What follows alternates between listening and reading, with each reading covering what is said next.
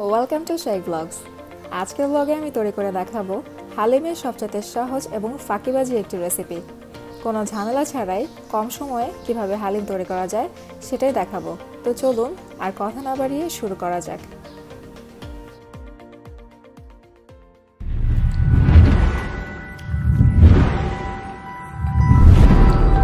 প্রথমেই হালি মিক্সের এই প্যাকেটের ভেতর চাল এবং কয়েক প্রকার ডালের যে মিশ্রণটা থাকে সেটা গরম পানিতে পনেরো থেকে বিশ মিনিট ভিজিয়ে রাখলাম।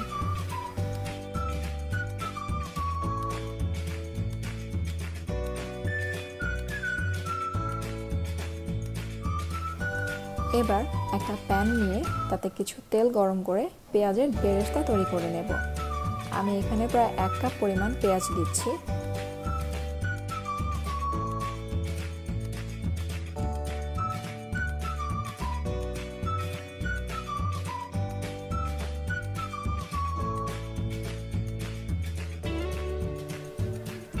কিছুটা পেঁয়াজ রেখে বাকি অংশ তুলে রাখলাম। এটা পরবর্তীতে কাজে লাগবে। আর এই গরম তেলের মধ্যে দিয়ে দিচ্ছি হাড় ছাড়া গরুর মাংস। ছোট করে কেটে ধুয়ে পানি ঝরিয়ে নিয়েছিলাম। এটা পাঁচ মিনিট তেলে ভেজে নেব।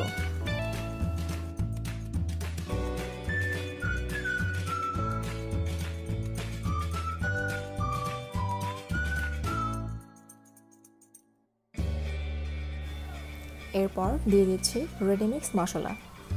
এটাকে নেড়ে চেড়ে ঢেকে রেখে দেব।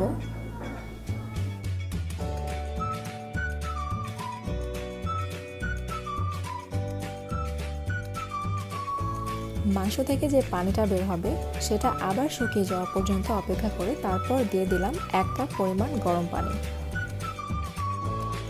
অবশ্যই গরম পানি ব্যবহার করতে হবে, এখানে ঠান্ডা পানি ব্যবহার করা যাবে না, নয়তো মাংস সিদ্ধ হতে অনেক সময় লাগবে।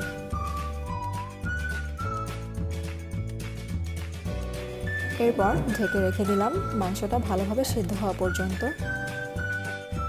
মাংস প্রপারলি সেদ্ধ হয়ে গেলে এরপর দিয়ে দিলাম ভিজিয়ে রাখা সেই মিশ্রণটা। দেওয়ার আগে আমি একটু ভালোভাবে নেড়েচেড়ে মিক্স করে নিয়েছি। এবার প্রায় তিন কাপ পরিমাণ গরম পানি দিয়ে এটাকে ভালোভাবে নেড়েচেড়ে ঢেকে রেখে দেবো। যে পানিটা দিয়েছিলাম, সেটা টেনে এমন ঘন হয়ে গেলে বুঝতে হবে আমার হালিমটা তৈরি হয়ে গিয়েছে।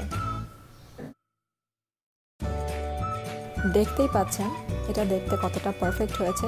খেতেও ঠিক তেমনই পারফেক্ট মনে হবে।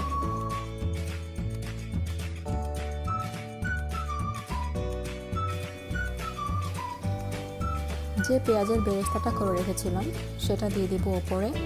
এরপর আদা কুচি শশা কুচি কাঁচামরিচ কুচি, ধনিয়া পাতা ও লেবু দিয়ে পরিবেশন করবেন। রোজা, ইফতারে অথবা বাসায় মেহমান আসলে চট করে বানিয়ে ফেলতে পারবেন এই রেসিপিটি তো এ ছিল আমার আজকের ফাঁকি ফাঁকিবাজি হালিম রেসিপি আজকে এখানে শেষ করছি। দেখা হবে পরবর্তী ব্লগে ততক্ষণ পর্যন্ত ভালো থাকবেন, সুস্থ থাকবেন। আর আজকের এই ফাঁকিবাজি রেসিপিটি যদি ভালো লেগে থাকে লাইক বাটন হিট করতে ভুলবেন না আর অবশ্যই আমার চ্যানেলটি সাবস্ক্রাইব করতে ভুলবেন না আর সাবস্ক্রাইব বাটনের পাশে থাকা বেল আইকনটি ক্লিক করবেন পরবর্তী সকল আপডেট সবার আগে পাওয়ার জন্য। আপনি যদি আমার চ্যানেলের অলরেডি সাবস্ক্রাইবার হয়ে থাকেন, তবে থ্যাংক ইউ সো মাচ